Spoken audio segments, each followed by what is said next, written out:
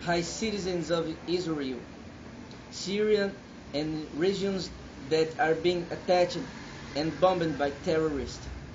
I would say to you that Brazil is saddened with uh, everything that happens in your country. I would say that here in Brazil, we accept and respect every kind of religion and beliefs. Here is a lake state where everyone can live it the way they like. There are peoples from all over the world living here in Brazil.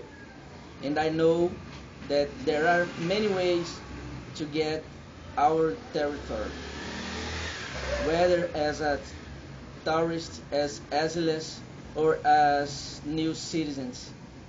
Always um, with um, arms with arms wide open to receive people from all over the world.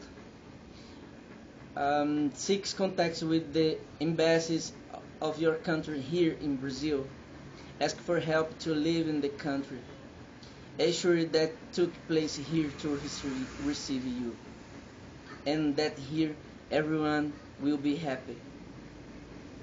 Good luck for you. Kisses. Bye.